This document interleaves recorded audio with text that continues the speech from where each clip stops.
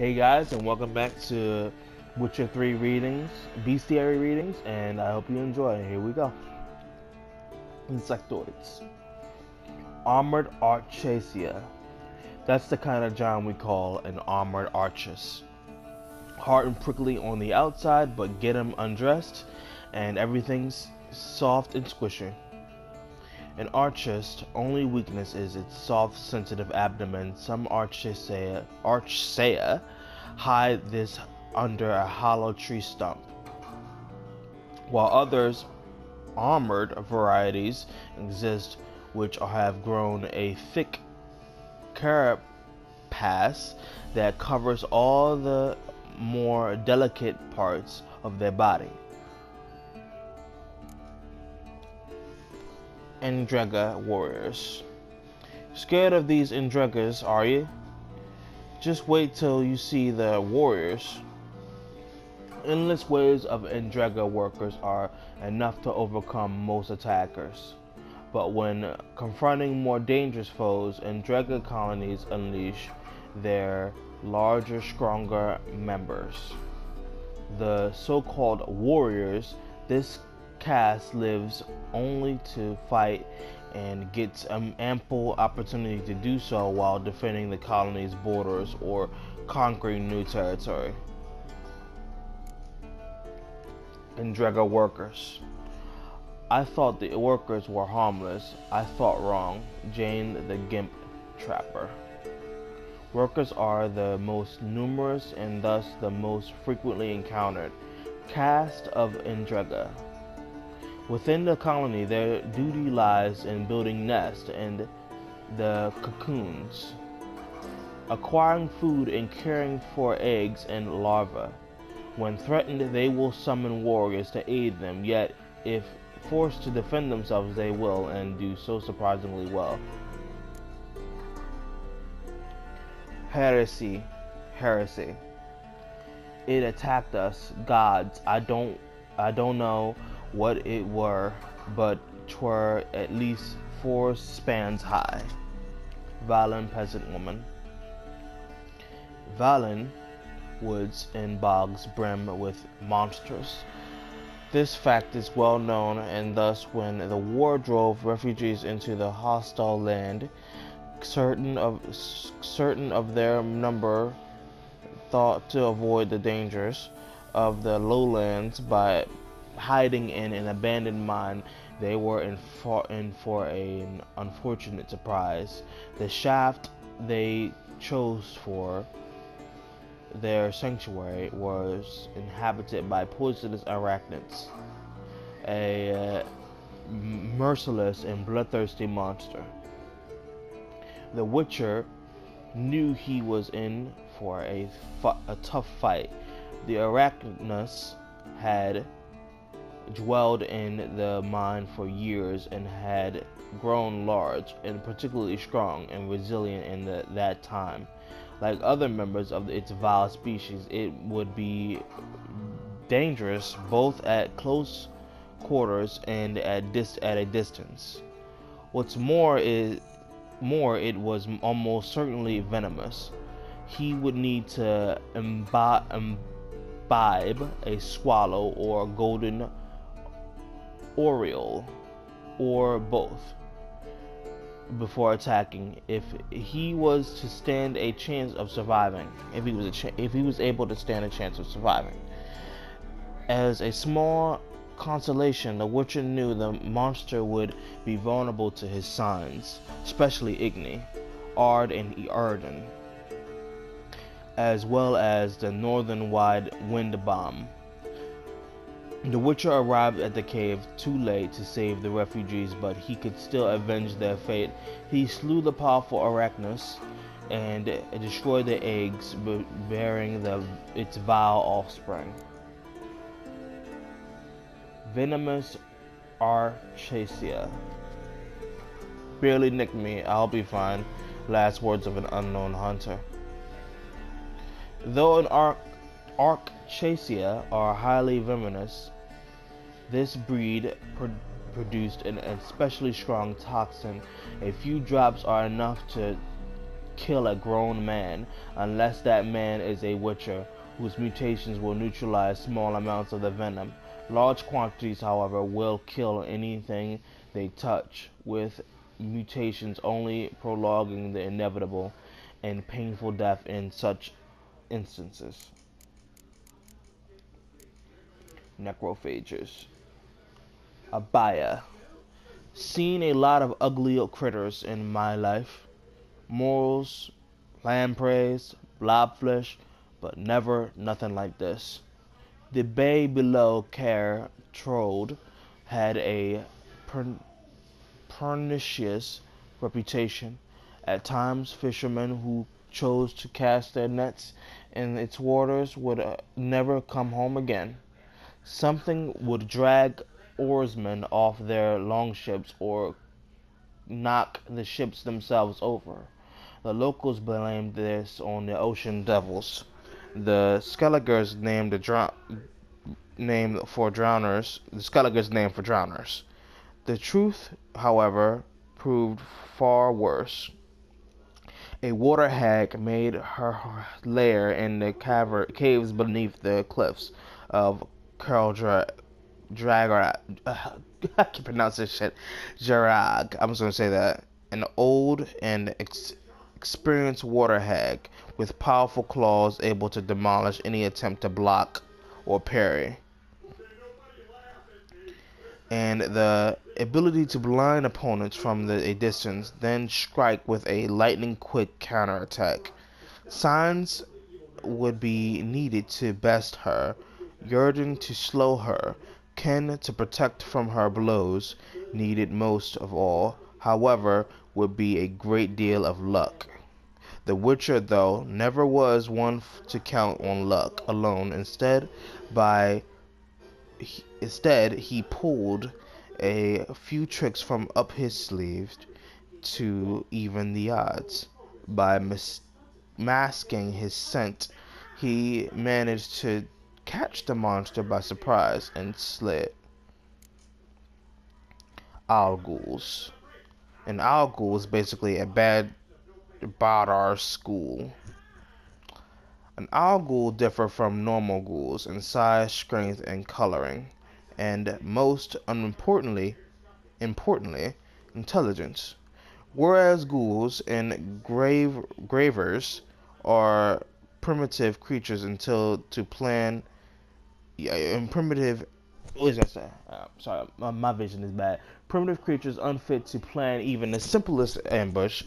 All ghouls and their kin- kindred, such as cemetaurs, are capable of forethought and are the, thus much more dangerous.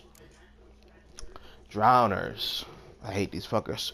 When at the water edge, you gotta be quiet. First of all, so as not to scare the fish. Secondly, so you don't attract drowners.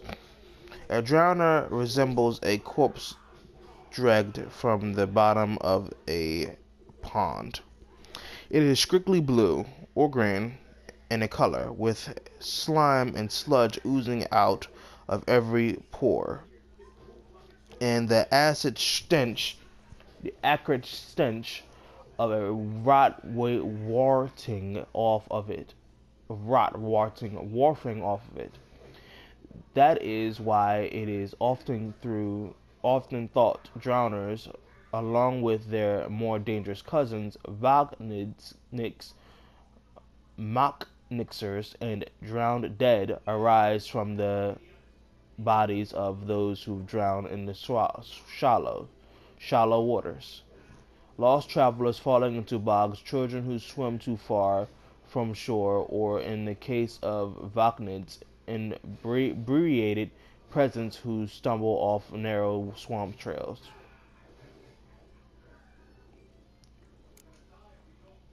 Foglets.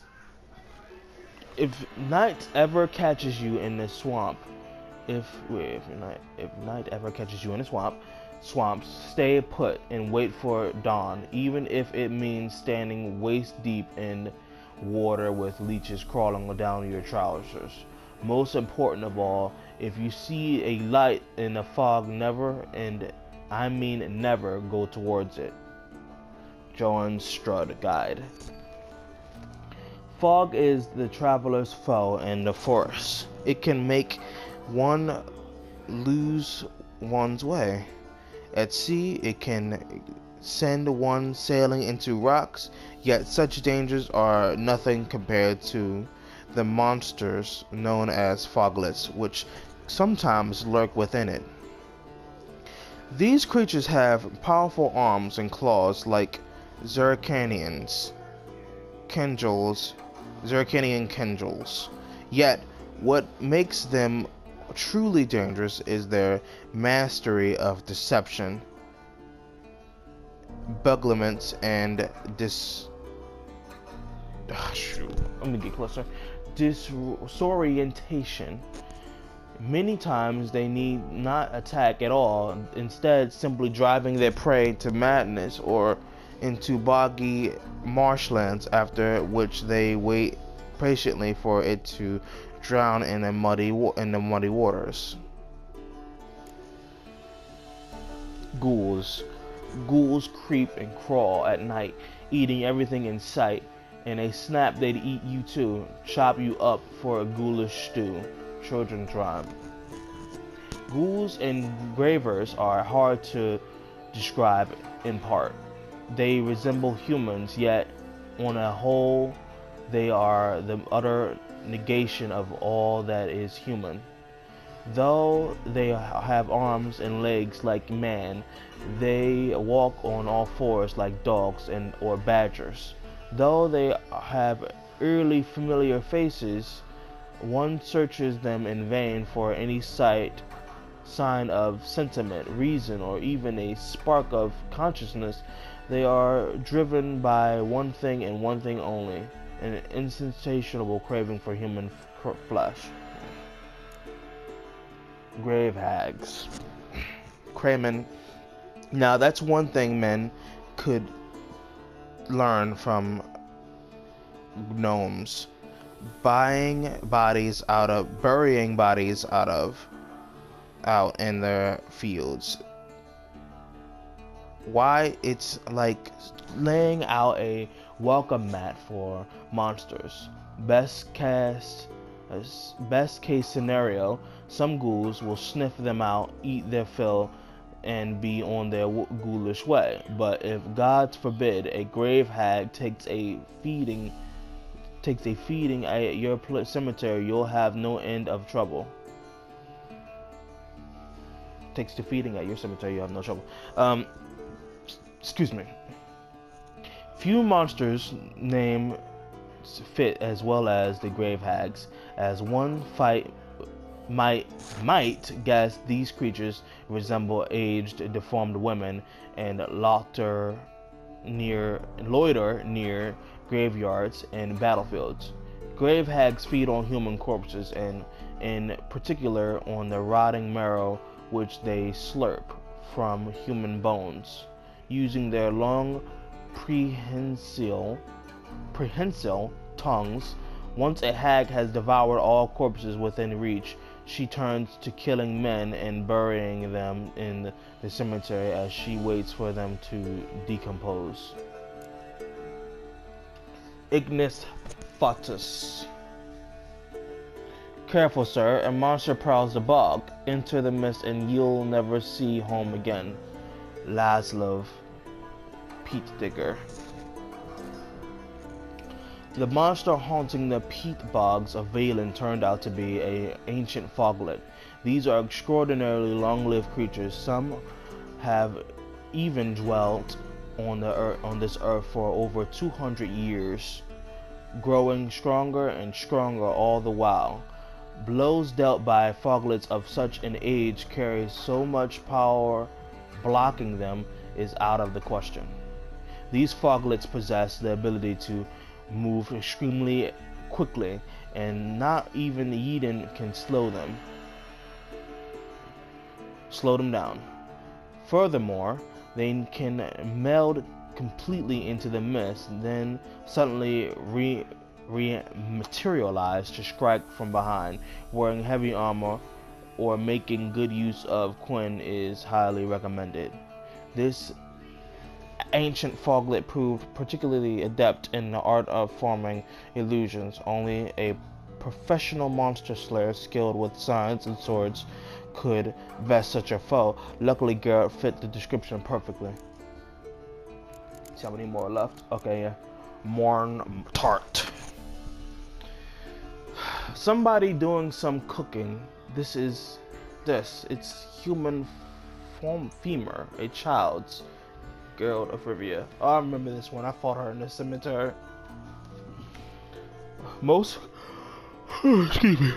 Most grave hags rarely attack humans. Preferring instead to feed on the rotten remains they dig out of the graves. Yet some individuals grow bold over the years and begin to begin sneaking into huts and steal children and kill the elderly. Just such monster was tormenting the inhabitants of Lindenvale. Lindenvale. The Witcher knew this grave hag would put up a fierce fight. He would have to watch out for her powerful claws. Capable of smashing through and blocking a parry and her long venomous tongue, he also realized her attacks would be so quick not even his mutated reflexes would be able to keep up keep pace, meaning only judici just judicious use of the Yrden sign would all would all him to survive the conquer and conquer. The outcome of this fight was not hard to predict. The grave hag perished in the very graveyard which had her heretofore served as her feeding grounds and her body was dumped in the grave she had dug with her, her own claws. Rot fiends. These guys are ugly. I like these guys. Rot fiends. Of course it reeks. Think they're called rot fiends for because they smell like roses? Vesemir, Witcher of the Wolf School.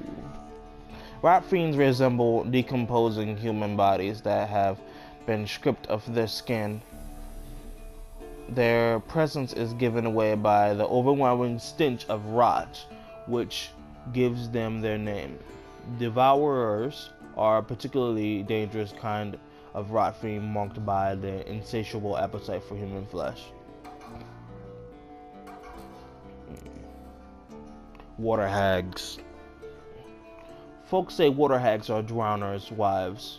If that be true, tain't no wonder why they're such ornery bitches.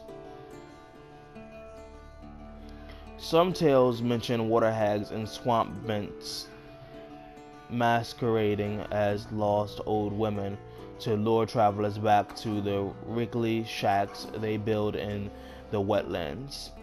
In truth, only a blind man or a sighted a or a sighted man blinded with drunk drink could mistaken the rank, sludged, and rotting carrion of a water hag den for a cozy cottage, and the hideous hag herself for an innocent grandmother.